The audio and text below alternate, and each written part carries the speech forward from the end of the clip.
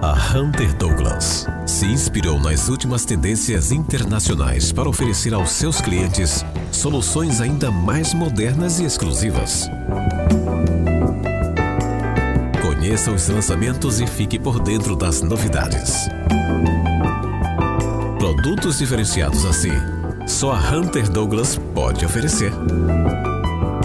Ampidecor, sua revenda Talent, em João Pessoa. Sua casa tem que ter identidade, ser extensão da sua personalidade. No aconchego, a beleza é fundamental. Toda parede quer papéis, toque final. Se o seu sonho é morar num ambiente belo, toque final transforma sua casa num castelo. Para o seu lar ficar ainda mais nobre. Toque final. Sua casa merece esse toque. A seguir, Bela Arte.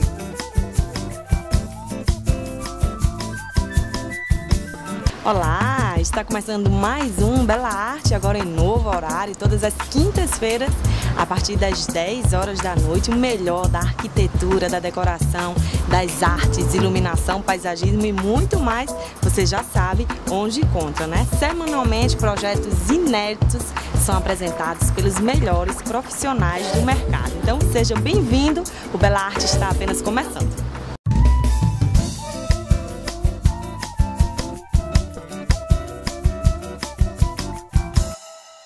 Começarmos o programa de hoje, a gente vai fazer um passeio pelo mundo das artes.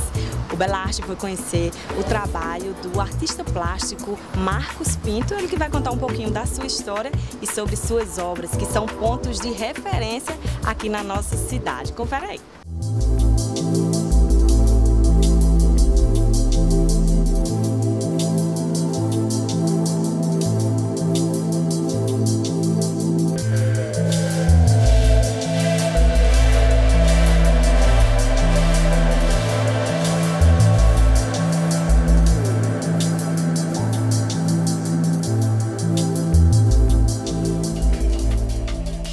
Meu nome é Marcos Pinto, eu sou artista plástico, pintor, escultor, gravurista.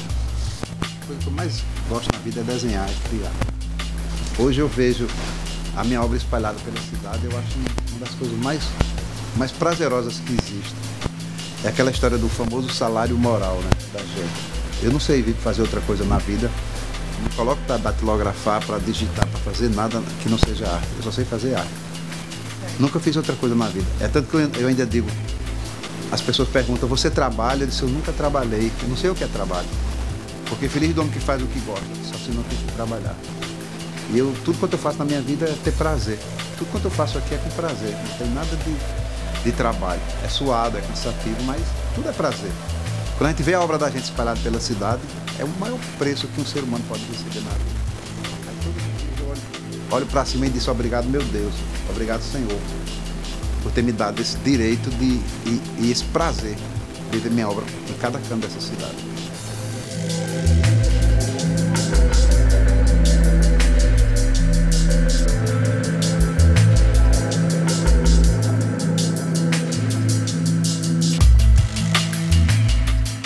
Eu tenho vários trabalhos.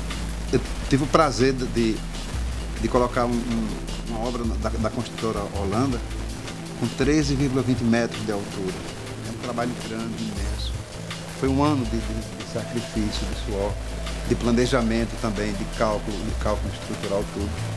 E, e essa construtora ela sempre me dá a chance de colocar uma coisa diferenciada na cidade.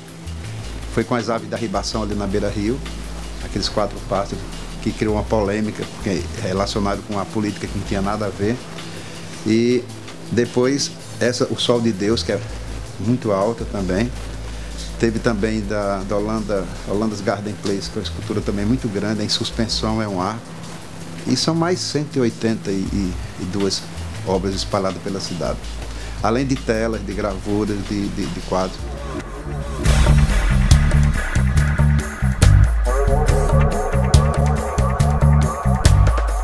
Processo de criação de uma escultura dessa é muito complexo, ela não é, não é fácil não.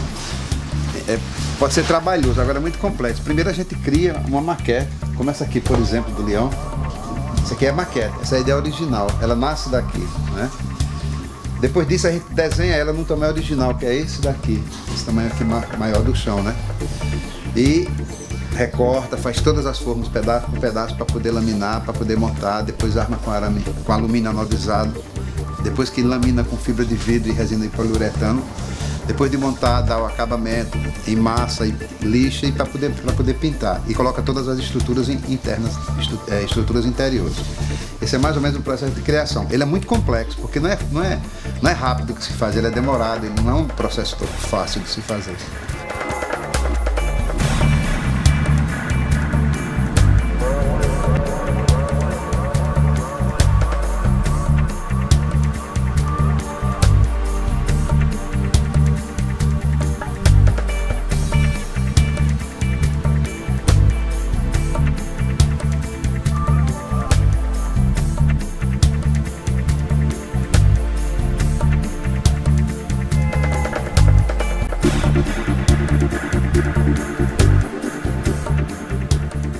Essa outra maquete aqui uma escultura que eu estou fazendo para um, uma construtora em Campina Grande.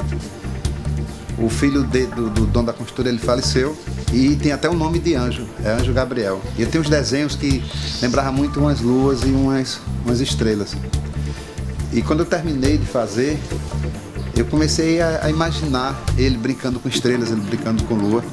É tanto que essa escultura me emocionou muito fazer essa maquete. Ela vai ser grande, ela tem 4 metros de altura ou mais, eu acho. Acho que é 4 metros e 20. Vai ter luzes aqui, onde vai refletir as estrelas, vai refletir o desenho da lua. Eu acho que esse trabalho, quando estiver no local, vai, vai chamar muita atenção. E o dono, ele, ele queria um trabalho que só ele lembrasse do filho dele, ele e a família dele. As pessoas não vão ter um trabalho bonito, um trabalho na, na frente do seu prédio, mas não vão, não vão perceber muito que tem alguma coisa a ver com, o Gabriel, que é o menino que, que é filho do proprietário que faleceu.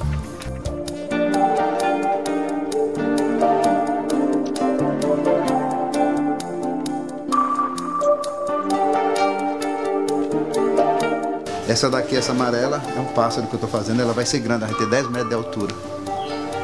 Mas talvez seja feita em concreto, eu não sei ainda, não decidi ainda não está fazendo os cálculos estruturais, ela vai ser 10 metros de altura, da asa para o chão.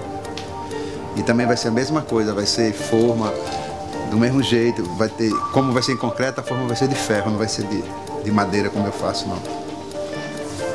E uma coisa que eu queria ressaltar aqui também, sabe o que era? É que a gente aqui é muito ecologicamente correto. Eu, você tem uma ideia, todas essas formas eu aproveito o material reciclado que eu compro dos lixeiros. Tudo isso eu faço com forma, é, é, porta de guarda-roupa. Porque normalmente o guarda-roupa estraga só a dobradiça e as pessoas arrancam e jogam fora. E eu compro. Eu compro, pago aos lixeiros, eles trazem aqui. Porque eu acho um absurdo a pessoa jogar um pedaço de MDF no lixo. MDF é caríssimo e as pessoas jogam fora só porque estragou a dobradiça. E eu compro e uso nas minhas formas. É a maneira de é, deixar a natureza mais tranquila um pouco, né?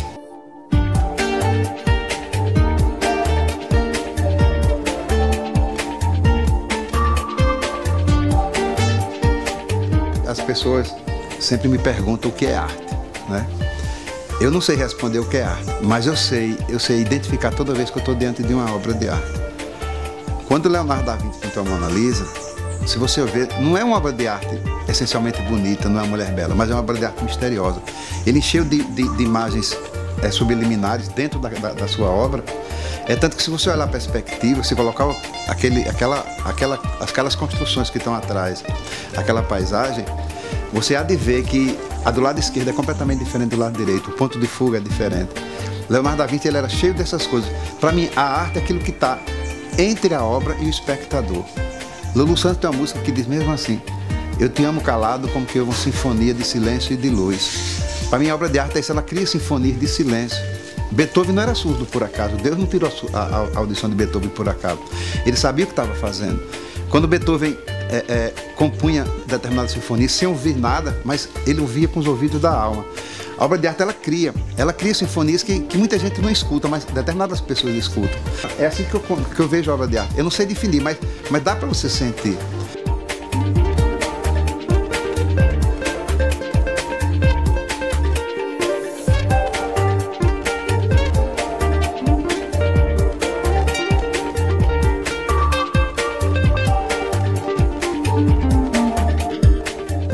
O seguinte, a arte e a arquitetura sempre andaram juntas, sempre andaram de mão dada. E muitas vezes elas se misturam.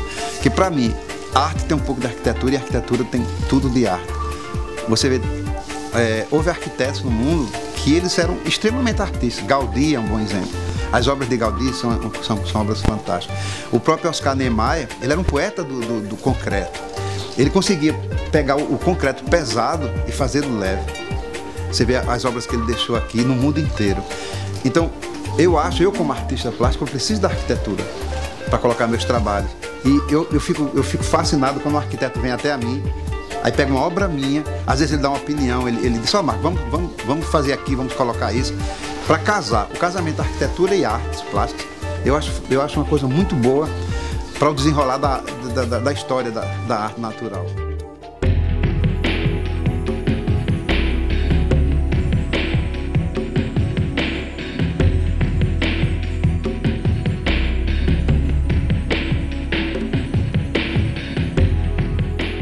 Eu faço a minha obra. O arquiteto faz o seu prédio, faz a sua casa, faz a sua edificação. Junto essas duas coisas, eu pego a minha, a minha, as minhas artes plásticas, boto dentro ou ao lado de uma obra de um arquiteto, para mim é o complemento perfeito. É como se fosse uma obra a quatro mãos.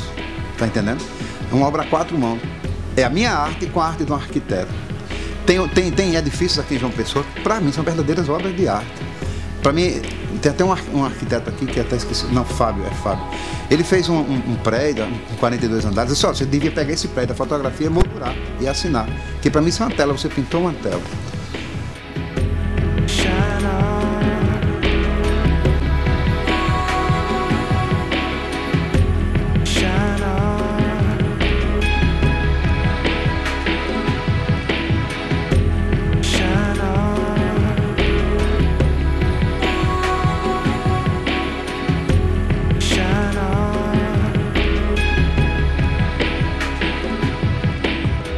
Lindo trabalho, Marcos Pinto, parabéns. Nos dá muito orgulho, né? Todas as suas obras espalhadas aqui pela cidade. Agora você deve estar se perguntando onde o Belarde de hoje está sendo gravado. A gente está aqui na loja Toque de Casa, novíssima, já é referência em ambientação, toque de casa, mobiliário e acessórios.